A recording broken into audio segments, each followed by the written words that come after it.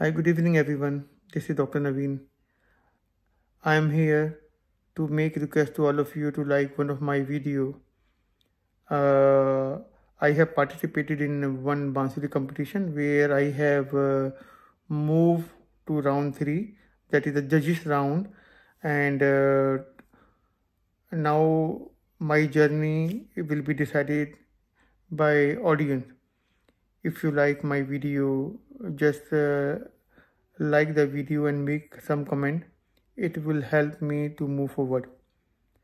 So here down I am attaching the link uh, where you can go and you can see my video you can like my video make comments and definitely it will help me move forward now I come to myself I am a very new in Bansuri player roughly this is uh, around 13 to 14 months and uh, if I calculate by the day of learning it won't be more than six months uh, so uh, maybe uh, this my video in competition will motivate all the beginners in Bansuri to participate in competition. Generally, uh, all Bansuri, the new, the beginners in Bansuri, they, they, they don't participate in any competition thinking they won't be able to play smooth and people will laugh at them. But I uh, I should tell you this is not the right right thing.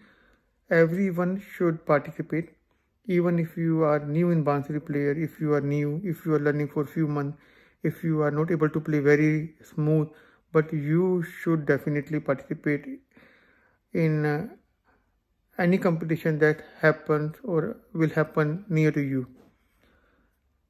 Maybe you won't succeed, maybe people will laugh at you, but don't think about all these things, negative things.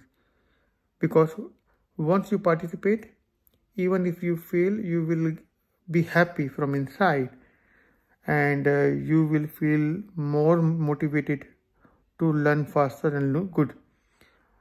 I am learning Bansuri for last 13 months and this is uh, this is my first competition and I have moved to round 3 and when I listen to my songs I realize my mistakes and definitely it will help me learning in more better way. So all the Bansuri players who are new to Bansuri, they everyone should participate in competition. It will help them to realize their mistake and also at the same time it will motivate them. They will feel happy. So second, uh, as everybody as everyone knows, Bansuri can be learned in many ways most profession they learn in discipline way like uh, they have their own way of learning all professional they start from sargam then uh, they uh, they move to alankar then few ragas and few songs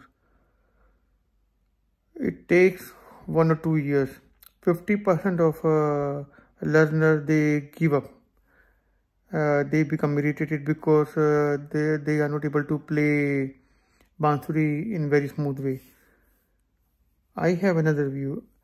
Uh, you should learn Bansuri in this disciplined way, but sometime uh, to make you relax, you should play whatever you like, even if it doesn't make any sense.